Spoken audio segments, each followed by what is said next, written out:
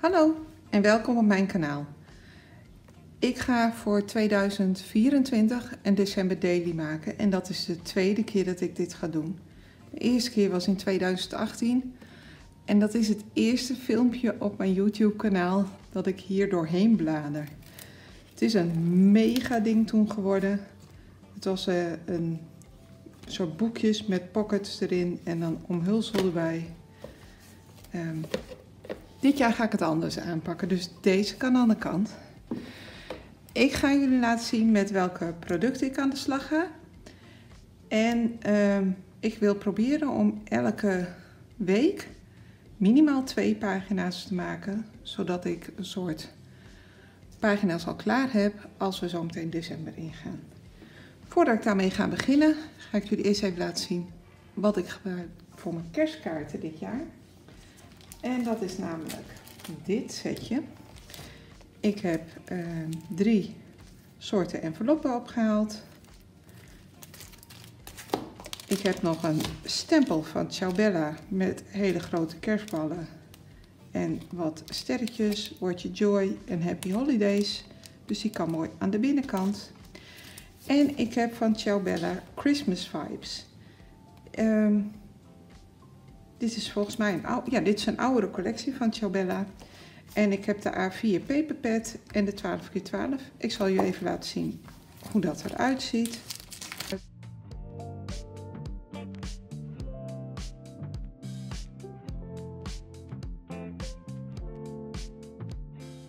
Je kunt hier een adventkalender mee maken zoals je ziet.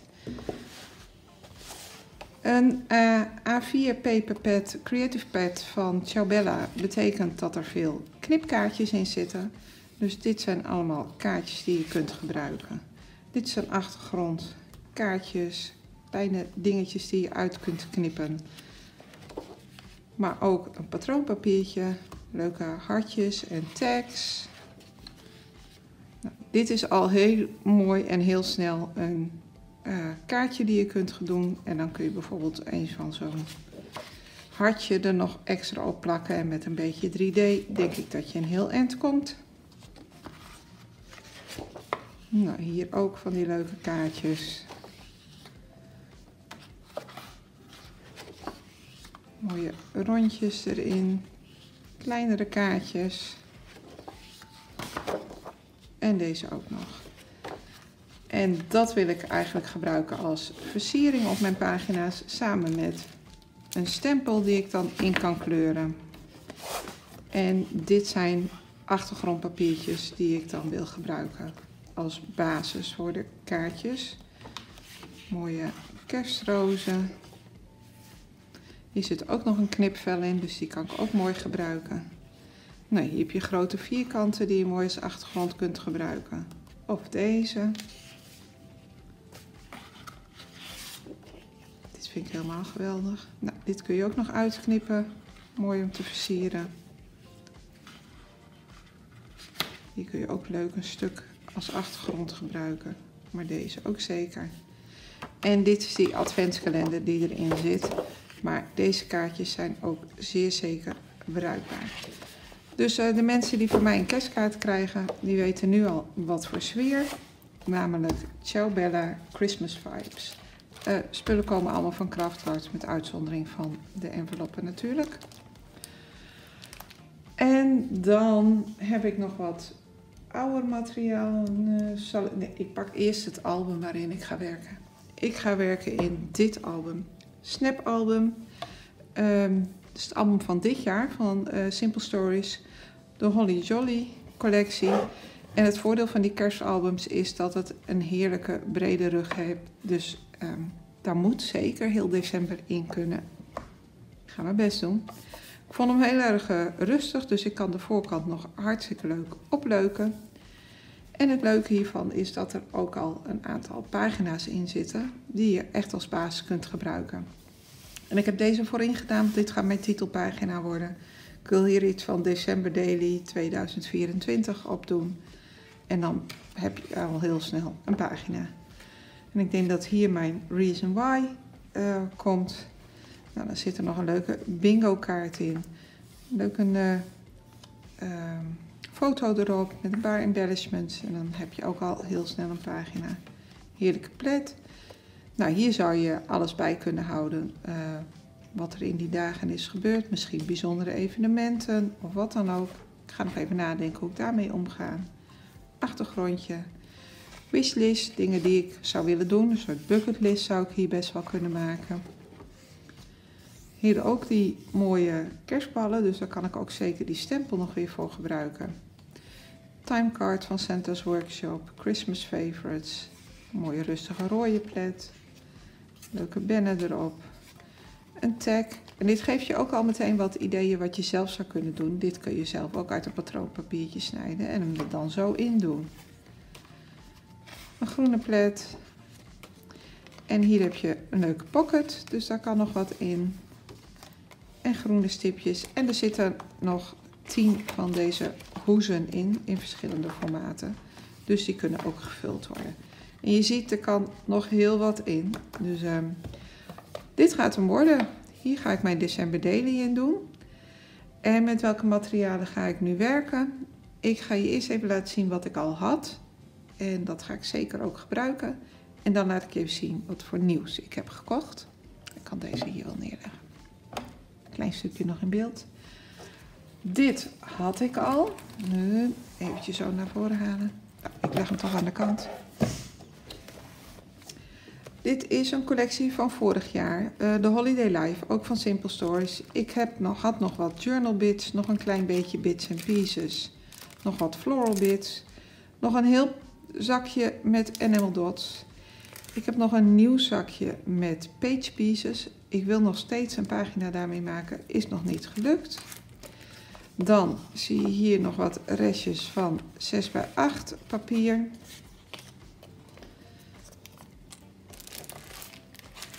Ik had de 12 bij 12 collection kit. Je ziet dat ik nog heel veel woordstickertjes heb. Nog een banner en nog een paar kleine dingetjes. Ik heb best wel veel gebruikt van deze. Dit zijn mijn restjes van het 12 bij 12 papier. Kaartjes, daar heb ik een cirkel uitgehaald. Ik zal het niet omdraaien, want nou ja, je ziet het is allemaal nog los spul. Ik hou ook van de kleine dingetjes te bewaren. Nou, dit kan ik wel omdraaien. Kijk, daar zitten ook nog kaartjes in. 3 bij 4 kaartjes, leuke huisjes. Nog een hele pagina met tekst.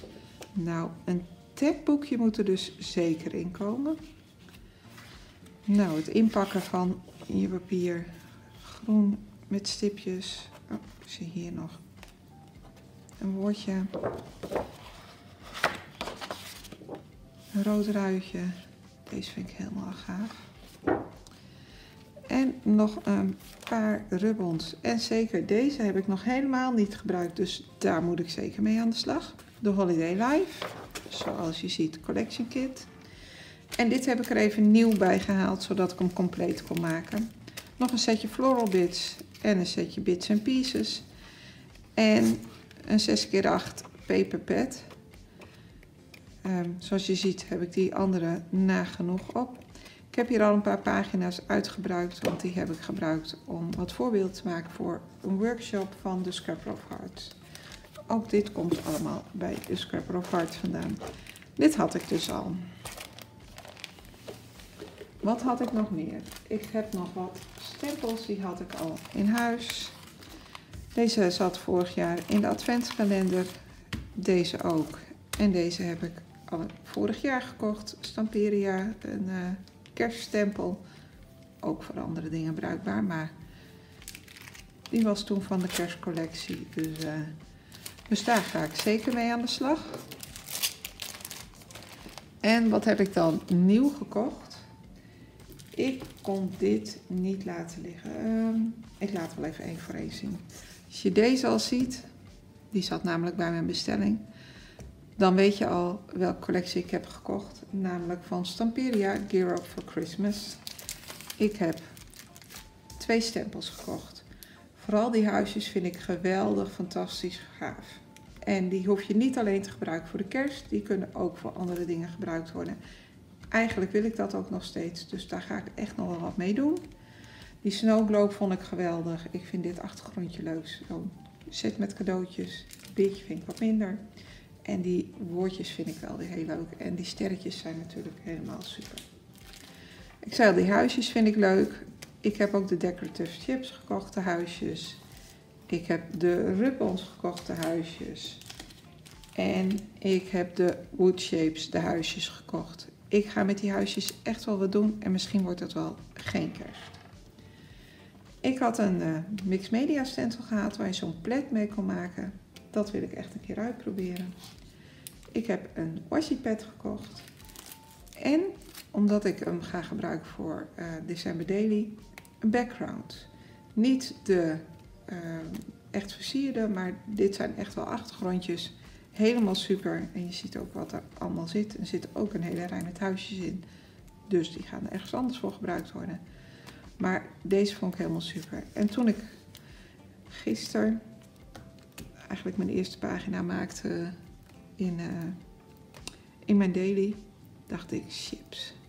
Ik heb geen ephemera gekocht. Dus ik denk dat die dag gaat komen. Dit is uh, Gear for Christmas van Stamperia of Stamperia. Het is maar net hoe je het uit wil spreken. En het, nou ja, eigenlijk de basis van mijn uh, December Daily is het album geweest. En bij dat album hoort natuurlijk ook een collectie. En dat is deze Simple Vintage Holly Jolly. Nou, als je ziet wat voor leuke pagina's erin zitten, ik zal hem ook even met jullie doorbladeren. Um, het is, zijn iets meer pagina's volgens mij dan in een normale 12x12 zit. En ik vond deze geweldig. Dus, um, Holly Jolly. Leuk met echt een beetje vintage-achtig. Dus een wat traditionele kerstman erin. Wat hulst erin. Wel hele sprekende kleuren. Daar hou ik wel van. Nou, dit was die time chart. Die zag je net ook al in het album. Geen idee hoe ik dat nu ga gebruiken. Maar komt vast goed. Ik vind deze hoekjes wel echt heel erg leuk. En ik werk natuurlijk in 6 bij 8. Dus ik zal er een stuk uit moeten snijden gaan kijken hoe we dat voor elkaar gaan krijgen. En hier zie je dat zwart-witte stipje. Dat zit ook heel leuk op de achterkant. Mooie rode led die we ook al eerder hebben gezien. Heerlijke kerstmannetjes. Nou, het is net of het uh, in de jaren 50 ergens uh, uit een pagina komt. Groene plet. Hier heb je weer die kerstballen. En ik zeg al, uh, die past er echt super bij. Groene stipjes. Nou, deze heb je net ook gezien, dan in het klein, nu wat groter. Lekkere plet, ruitje, winters uh, tafereeltje, een rode. En ook hier zit een tekst in. Dus een tag-albumpje zal er zeker in gaan komen. Mooie kaartjes.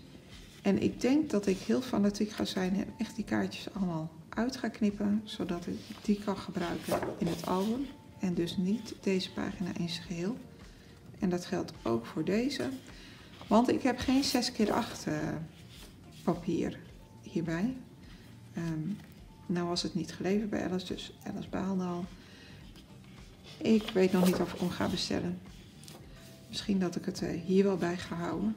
We gaan eerst wel eens kijken hoe ver we kunnen komen. Natuurlijk zit daar ook een stickervel bij. Nou, 25 komt wel heel erg duidelijk naar voren. Santa. We gaan eens kijken hoe we de 26 gaan doen. En ik heb de uh, Basics Kit er ook bij. En daar zitten lekkere rode, groene en lichtgroene uh, teal. Uh, redelijk effen pagina's in. Hier zit een ruitje op op de ene kant en de andere kant zit een heel fijn stipje. Dus in het rood, in het groen en in het teal. En dat setje zit er nog een keertjes in. Dus rood, groen en teal. En ook hartstikke leuk om je foto op te matten. Dus dat is de Simple Vintage Holly Jolly. Tuurlijk moest daar wat bij om te versieren. Ik heb de FM erbij. Je ziet hier al wat erin zit. Ik zal hem eens even openmaken. Tag met Joyful. Zo'n library card. Ook wat woordjes, hè? One good boy. Dat is altijd one good girl. Rush. Aftelkalender. Het woordje joy. I-O-Y. Een ornament. Hier een bingo-kaartje weer.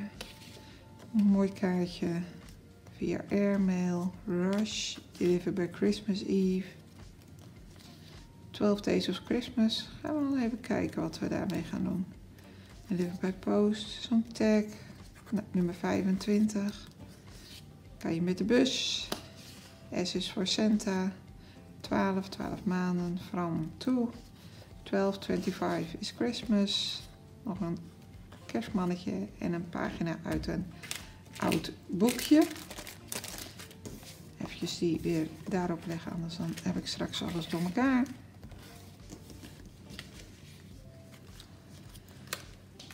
Dan heb ik ook de sentiment bits. Het zijn allemaal woordjes. Joy, cheer, jolly, merry, Christmas, bright.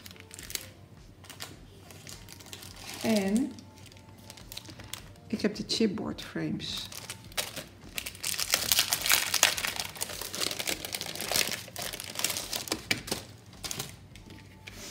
Dit zijn eigenlijk al kant-en-klare lijstjes waar je zo je foto achter kunt plakken.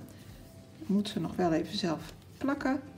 Nu, uh, Let It Snow, Santa's Workshop, zelfs een dubbele. Nog een dubbele, een grote en eentje met ruitje. Als ik nou pagina's ga maken die al klaar zijn, dan moet ik het even zo doen dat ik die foto hier achter kan schuiven. Maar dat komt vast helemaal goed. En deze passen natuurlijk niet 6 keer 8 in de breedte. Maar dan gaan we een pagina zo maken. Waarom niet? Dus dat zijn de chipboard frames. En als laatste het stickerboek. Ik heb dus niet de bits en pieces gedaan, want ehm, ik had zoiets van met die stickers kan ik wat makkelijker nog dingen versieren. Dus er zit ook leuk de kerstman in. Kijk, daar zitten die nummers in en die kan ik dan mooi gebruiken voor mijn december daily. Om ze 1, 2, 3... Oh, de vaatwasmachine is klaar. En er zitten nog woordjes december in, dus dat kun je prima gebruiken. Labels. Vlaggendijntjes. Ach, met die kerstmannetjes erbovenop. Echt wat oude tekeningen. Wat Bambi, wat kerstballen. Sneeuwtje, eh, sneeuwmannetjes. Wat kleine klussetjes. Wat woordjes. En hier ook wat van die leuke zinnetjes. Letters erin. Dat je zelf wat kan maken. Nog wat grotere stickers, waaronder wat van die tickets. En zoals altijd een pagina met cirkels.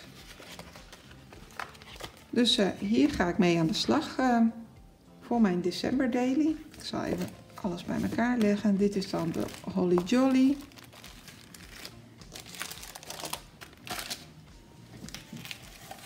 Dit is Gear Up for Christmas. Dan hebben we hier de stempels die ik al had. En ik heb hier nog de Holiday Life. En natuurlijk het album. Nou, als ik hier geen uh, december van kan maken, dan weet ik het ook niet meer. Ik hoop dat je het leuk vond om dit te zien. Als dat zo is, geef deze video dan een duimpje. Abonneer je me op mijn kanaal. Elke week komt er een video online. En dan zien we elkaar de volgende keer weer.